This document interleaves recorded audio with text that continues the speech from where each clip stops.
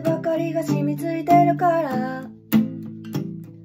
負けてる方がずっと楽だと記憶をしまい込む。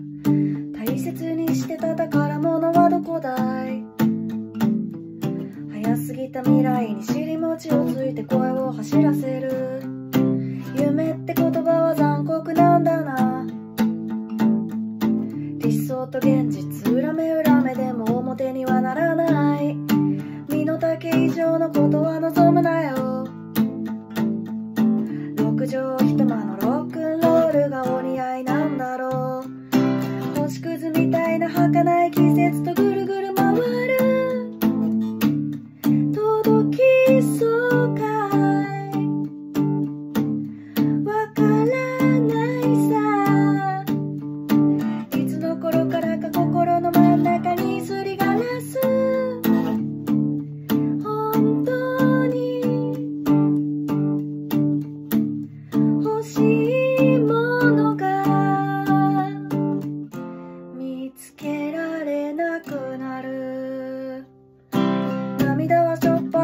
日は眩しい。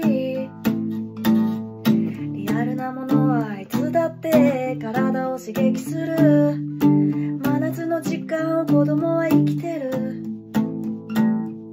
消費期限を気にしながら僕らは振り返る。星屑みたいな儚い季節とぐるぐる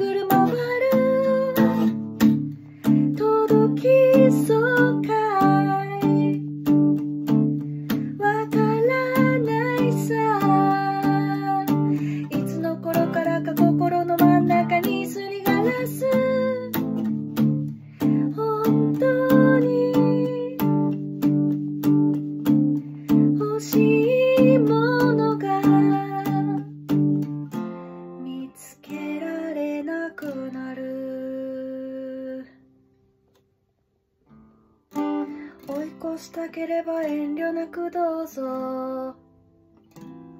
そんなに急いで目指すところなんてもう忘れたよ。